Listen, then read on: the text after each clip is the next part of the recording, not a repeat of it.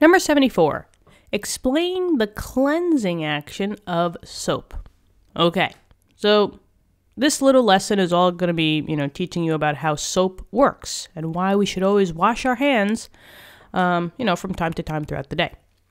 Now, what I have here is one example of one molecule that would be classified as a soap, and this is sodium stearate.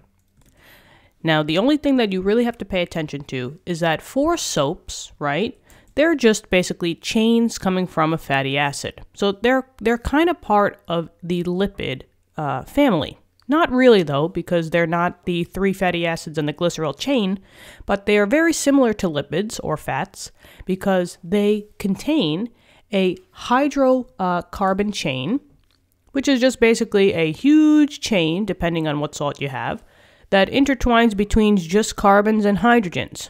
Now, carbons and hydrogens are very nonpolar, right? If you just have carbon and hydrogen, generally speaking, that um, that bond between carbon and hydrogen is going to be a nonpolar bond. So all of this that is basically locked in blue is your nonpolar end. Okay? So one molecule of a soap has a nonpolar end. It's the big, it's the big, big, big, big, big, big end, right? The, the nonpolar end is going to be way larger than the, they call it over here, the ionic end. But I like to call this as the polar end as well. You can you can kind of work it both ways. It's just easier because one is nonpolar, the other one is polar. Ionic is just a step up from being polar because you actually have uh, direct charges, which is what we have over here.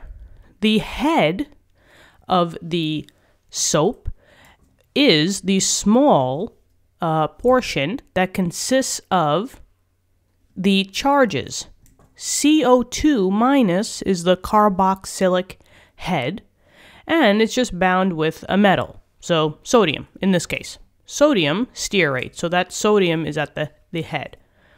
Now, in this case, for salt, uh, salts, did I say salts? I meant soaps. for soaps, you will have a polar head.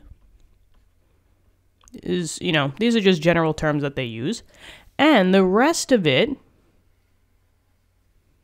is a non polar tail. So you have two different por- portions of one whole entire molecule. You have a polar head and a nonpolar tail.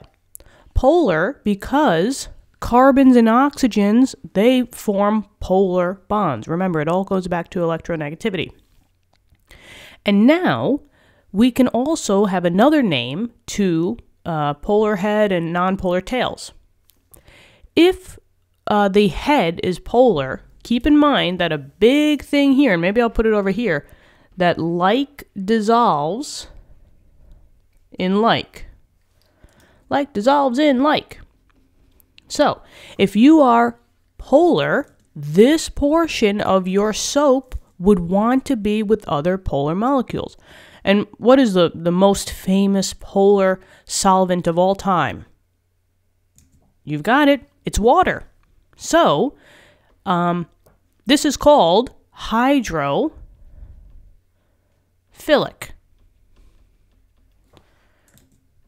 Right? Hydro, I mean, it kind of relates to hydrogen, but if you want to stay hydrated, you drink water. Hydrophilic, by definition, means that it loves water. It wants to be so close to water because water is polar. Like dissolves in like. So this polar head is like, I want to be so close to water, please. But the nonpolar tails, mm mm, right? They don't want to be with water. That's not the same. These are classified as hydrophobic. Right? And if you have a phobia towards something, you want to stay away. Hydro, hydrated water. You're afraid of being close to water. See, even molecules have an, you know, uh, you know, have a phobia towards something. So uh, hydrophobic means that it hates maybe I shouldn't say hate because hate is a very strong word, but we'll say dislikes H2O. It does not want to be anywhere near water. So now, that's the whole spiel on just one molecule of a soap. However, when you put soap on your hands, are you only dealing with one of these? Uh uh-uh. uh. you are dealing with thousands of them. Hundreds, thousands, maybe even millions, depending on how, how much soap you put on, right? Especially when you're, you know, in the shower cleaning. Um, you're dealing with a lot of these. So the question is now, well, how do these um, how do these arrange themselves when you have multiple? In this case, sodium stearates. Well, remember, you got two properties. You got hydrophobic versus hydrophilic. And let's just make our own little soap, right? And maybe what I'll do is actually, we're just going to go straight down to here. Now, don't focus on this right now, the drop of oil. Let's just focus on these red balls on the top and then these little tails, right? Because that's the two components. And look how many uh, soap molecules you have. And it's uh, it makes this, which is called a micelle or a micelle, however you want to pronounce it. A micelle is basically a circular structure based off of polarity. Now remember, like dissolves in like. All of your polar heads, which are these red things, they want to be exposed to the environment. And if you're cleaning yourself, right?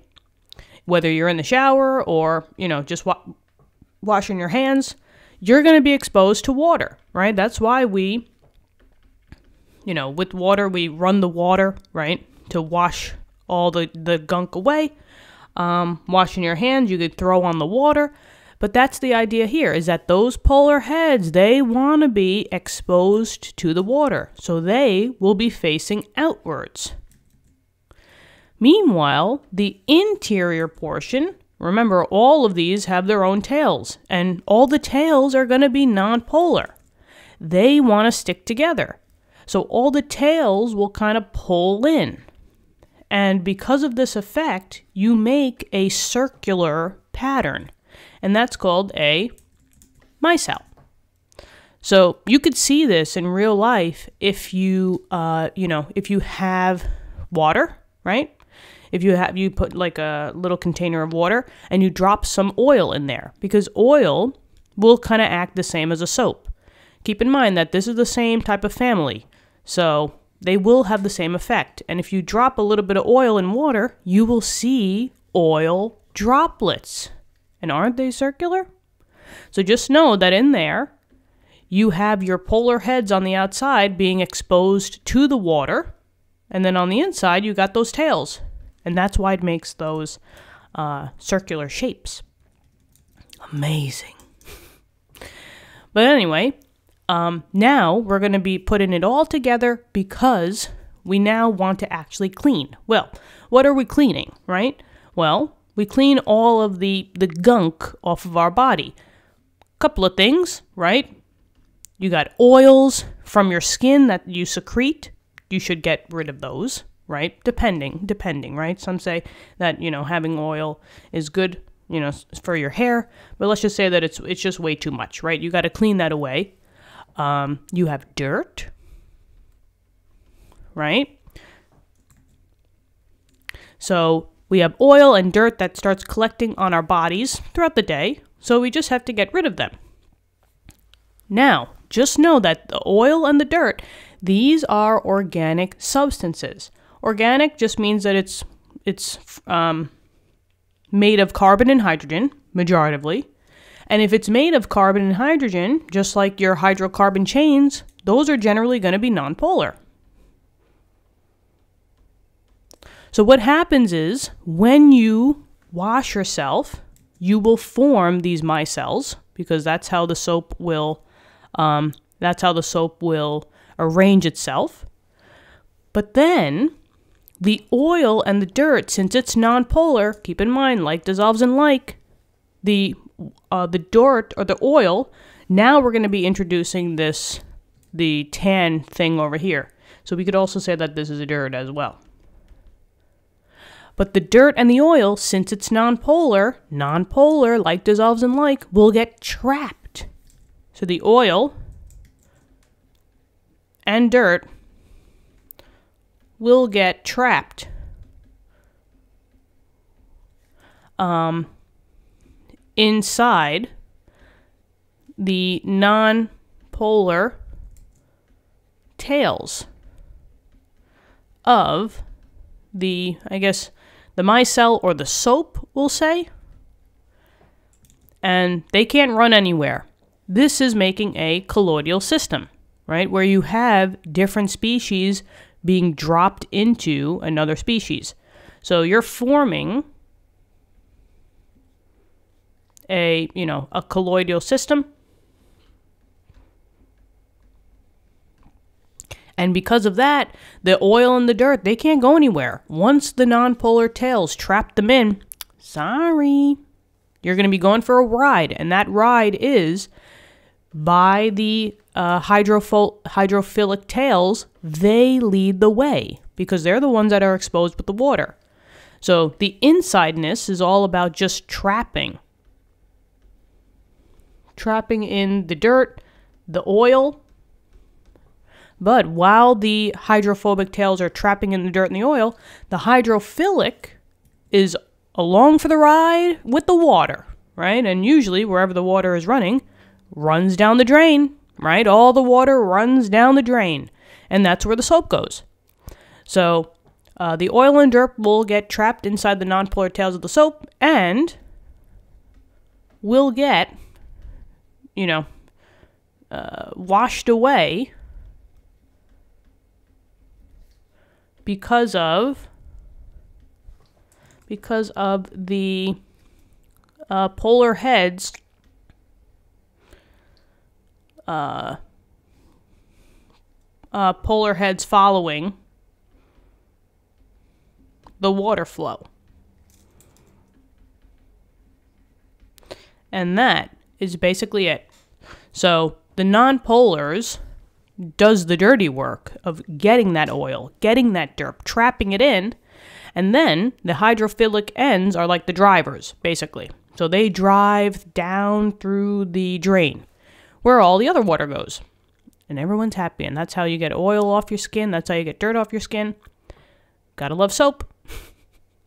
I hope this helped. Let me know in the comments. Thank you so much for viewing the video, and I hope you have a great, great, great day. Keep studying hard, and I will talk to you in later lessons. All right. Okay. Bye bye.